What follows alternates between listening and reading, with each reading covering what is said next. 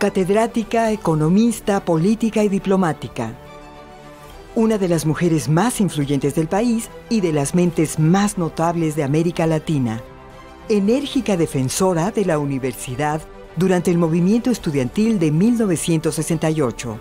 De las primeras mujeres en ocupar cargos relevantes en la administración pública, abriendo así camino para el empoderamiento de la mujer la primera mexicana en obtener el grado de maestría y doctorado en economía por la Universidad de Harvard, una de las fundadoras del Partido de la Revolución Democrática, la primera senadora de la República electa por el Distrito Federal representando a un partido de oposición.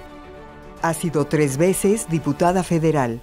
Se desempeñó como consejera de la Reforma Política del Distrito Federal, integrante del Consejo Consultivo de UNICEF, embajadora de México en la ONU, y una firme defensora de los derechos humanos y la equidad de género, por la cual funda y preside la Asociación de Mujeres por la Soberanía Nacional y la Integración Latinoamericana, AC.